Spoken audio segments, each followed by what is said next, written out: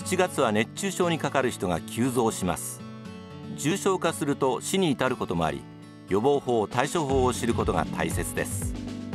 週刊健康マガジン今夜のテーマは熱中症とはです。長崎医療センターの中道先生にお話を伺います。熱中症に対応するためにはなぜ起きるのかどういう特徴があるのかを理解整理しておくことが重要です。人の平常時の体温調節機能は運動や暑い環境下で体内に熱をためる熱産生の作用と汗の蒸発による気化熱や血液が集まった皮膚表面からの放熱などによる熱を逃がす熱放散の作用がバランスを取ることで保たれています。高温多湿の環境で激しい運動や仕事により増大した熱産生に対し汗が乾きにくい出ない。脱水。持病で皮膚の血流が悪いなどの要因で熱素放散の作用が低下した場合バランスが崩れ体温調節ができなくなり主要臓器に障害をきたします。この病気を熱中症と呼びます。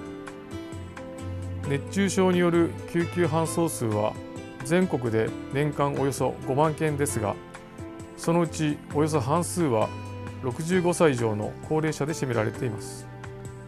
長崎県における人口10万人あたりの年間熱中症救急搬送数はおよそ60人前後で過去2年ともに全国平均を上回っており熱中症発生率が高いと言えます。熱中症を引き起こす条件は環境、体、行動の3つの要素に分けられます。環境では高温多湿エアコンがない体では持病がある。行動では激しい運動で水分補給が少ない。といった条件は危険です。年齢別の熱中症発生状況を見てみると10歳から19歳はスポーツ中。20歳から59歳は仕事中。60歳以上は日常生活中に発生数が多い傾向となっています。特に高齢者は体温調節機能が低下していたり暑さを感じにくいなどの傾向があります。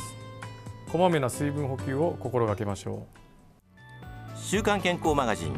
次回は熱中症の症状についてお送りします。